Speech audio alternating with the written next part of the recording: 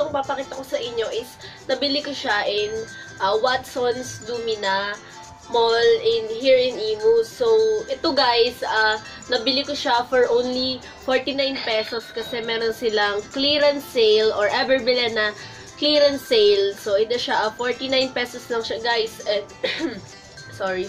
Uh, based dito sa na na-search ko, ang original price nito is 185 pesos.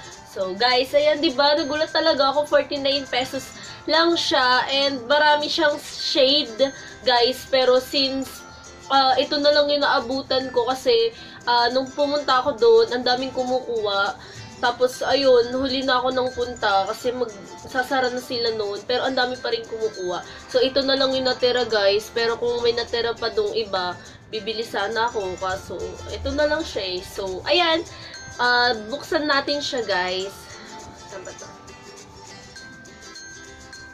Ito. Ayan, buksan natin siya.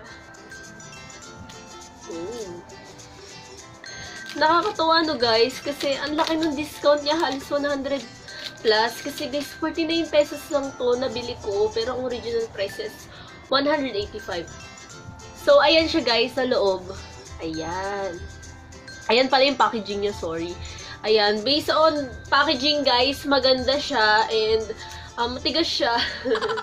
maganda naman siya para sa akin. Okay lang din. Tapos may nakalagay dito na Everbilena Advance LTD Liquid Lipstick. Ano bang shade nito? Chocolate Truffle. Ayan siya guys. Hindi nyo makikita. Uh, ang shade niya is Chocolate Truffle. So, open na natin. Hmm? Ooh, ang bango, guys. Amoy pa bango. Ang pabango, amoy pa bango talaga siya, in fairness. Ang bango, guys. So, ayan siya. Uh, sa amoy niya, guys, ang bango. Nakaka-addict yung amoy niya. Para siyang ano, yung mga... Anong tawag doon? yung pabango ng, na parang sweet.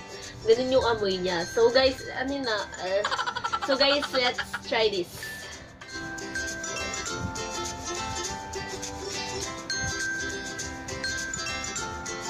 Lapit na lang. Makita nyo.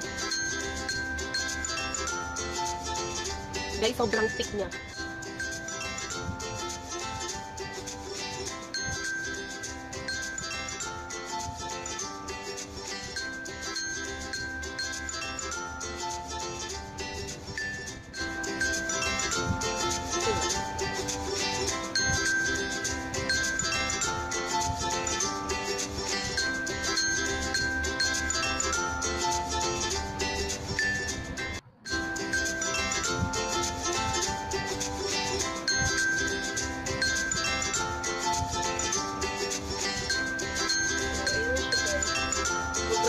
Dark. Oh my God.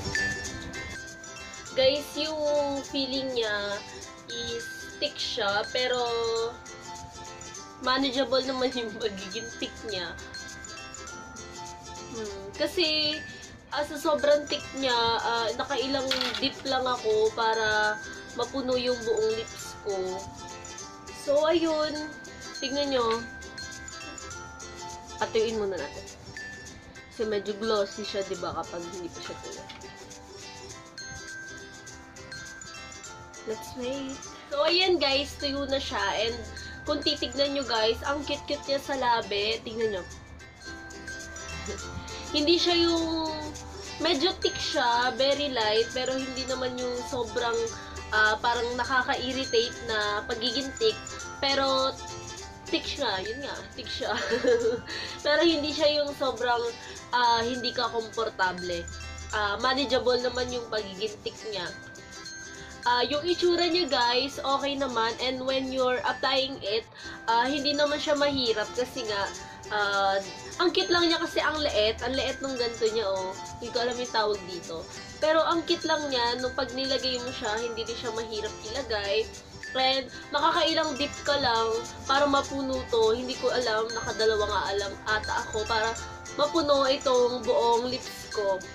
So, ayun guys, uh, syempre, kailangan natin siyang i-test kung maglalas ba siya ng longer. So, maglalas ba siya ng longer? uh, magta-try tayo ng Dreams uh, titignan natin kung magta-transfer siya or mag-iwan siya ng mark dito sa bottle. So, ito guys, lamig. so, na natin siya. Tignan natin kung lilipat or magkakaroon siya ng mark dito sa bottle. Oh my god. so, ayan guys. Inside.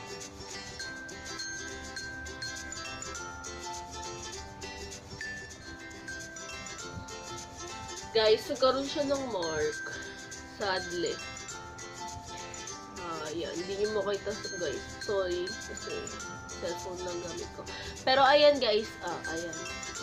O, siya na best. Ayan. Tignan nyo. Ayan guys. Oh, nag-iwan siya ng mark. Ah, yun lang. Nag-iwan siya ng mark. So, hindi siya transfer proof. Ano ba yun? Kiss proof na lipstick yun lang, lumalipat siya. And of course, magta-try tayo ng pagkain kung patatanggal ba siya after eating. Eat!